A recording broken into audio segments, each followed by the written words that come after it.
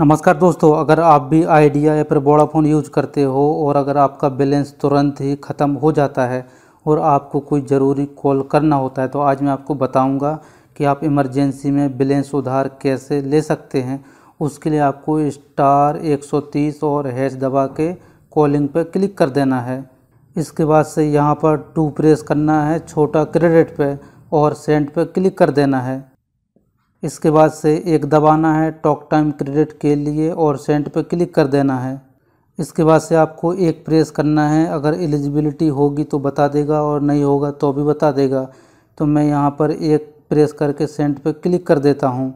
तो देखिए दोस्तों, यहाँ पर मैसेज शो हो रहा है कि आप एलिजिबल हो पाँच रुपये लोन लेने के लिए और जब आप नेक्स्ट रिचार्ज करोगे तो आपको साढ़े छः रुपये देना पड़ेगा।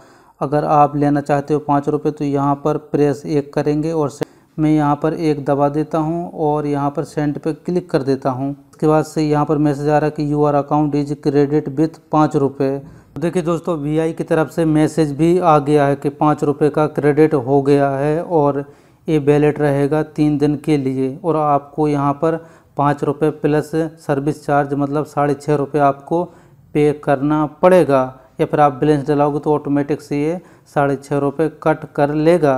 तो आप star one double nine hash dial करोगे तो यहाँ पर देख लीजिए मेन बैलेंस यहाँ पर पाँच रुपये बता रहा है, आपका नंबर शो होगा और आपकी वैलिडिटी शो हो जाएगी। इस प्रकार से आप भी क्रेडिट कर सकते हो या फिर लोन ले सकते हो पाँच रुपये का।